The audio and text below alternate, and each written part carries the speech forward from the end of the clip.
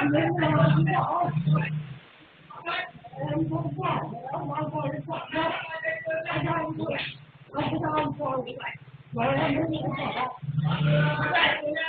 Không có.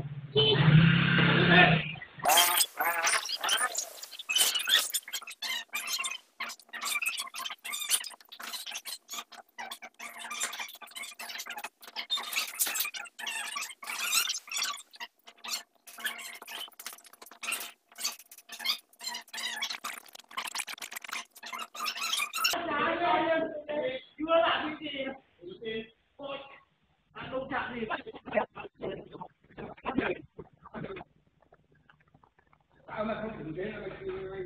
nói thật với các anh chị em dù giấu em em làm với anh có phải là dở hơi không?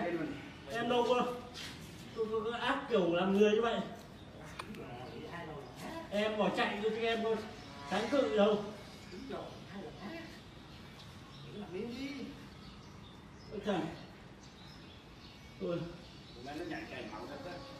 Chạy thì em mà chạy đi. Anh giáo anh đuổi. Em mà như thằng khác cái mấy đồ ra chạy sao mà anh? Nào